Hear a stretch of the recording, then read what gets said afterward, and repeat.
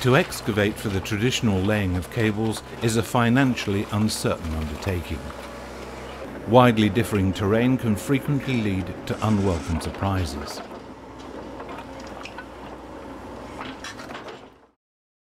Push and pull is a both simple and exceptional concept for the laying of cables for wind farms, for example. The method is based on propelling and winching the cable through an already laid SRS pipe. The pipe is laid out at the same time as the road system for the wind farm is built. Today there are lengths of up to 500 metres available that can be supplied on both pipe reels and normal cable drums. At an early stage the pipe can be integrated into the bed of the road and placed, in this particular case, in the middle of the roadway with an infill of only 30 centimetres. In this way pressure from the weight of heavy traffic can be avoided the pipe can also be ploughed down into the side of the road. The plough is front loaded and provides a large radius and very little friction when laying the pipe. The pipe can cope with high load pressure and is in these conditions classified for an infill of only 15 centimeters. När de har försökt en halvdag och sett att det här funkar ju faktiskt så eh, vänder de och tycker att det var kul att på kabelförläggningssidan att något nytt kommer istället för att schakta och sanda och banda som man alltid har gjort. The plough can also be an alternative pipe laying option in very stony terrain. In such cases, a ripper is required to prepare the terrain before the plough can lay the pipe in place. But because the pipe is so strong, the need for infill material is reduced. Ja, vi försöker ju få med oss slangen så tidigt som möjligt så att vi slipper att vara i vägen för de här som ska trycka i kabeln sen. För då trycker de ju i den just då när vi ska ansluta verken då. Laying the pipes at the same time that the roads for the wind farm are built saves money. At the same time it provides better space and time for cable connections once the wind farm is in place.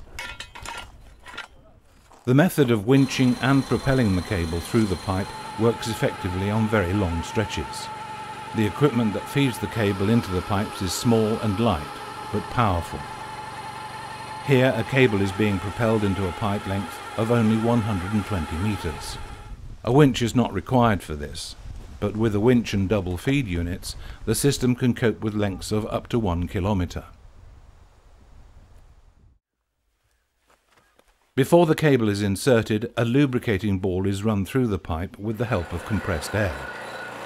This takes with it a pull through from the winch and lubricates the inside of the pipe so that the cable subsequently glides more easily through the pipe.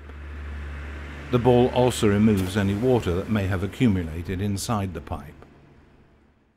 The lubricating ball also pulls a sonar with it so that it is easy to discover and locate any damage or constraint within the pipe.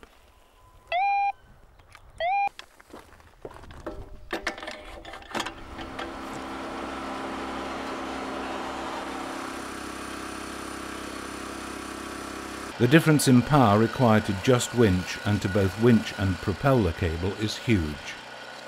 The method of propelling the cable reduces the curve friction against the pipe and considerably reduces the power requirement over long stretches. The equipment feeds in cable at a speed of between 16 and 20 metres per minute, regardless of the length of the stretch. To set up the winch and feed units takes only 20 to 30 minutes. And no heavy machinery is needed to handle the equipment.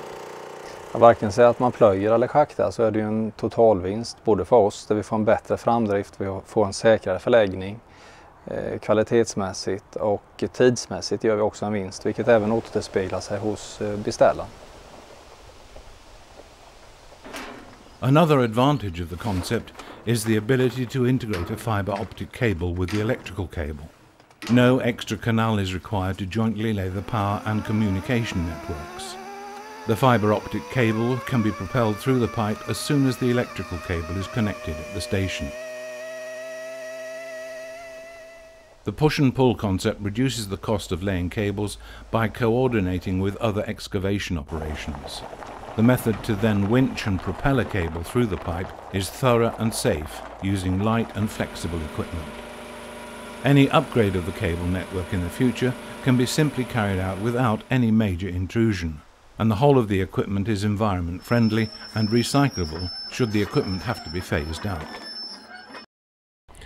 Ja, här har jag ju mer fasta förutsättningar och vet kostnaden, totala kostnaden.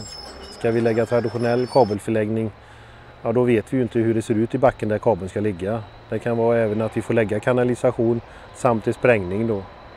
I och med att vi är ju i oundersökt mark.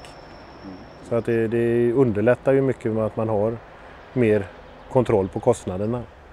Så jag skulle tippa på att totalt ekonomiskt så ligger vi kanske på en 10-15 procent billigare kabelförläggning. Push and pull provides a smarter network at the right price.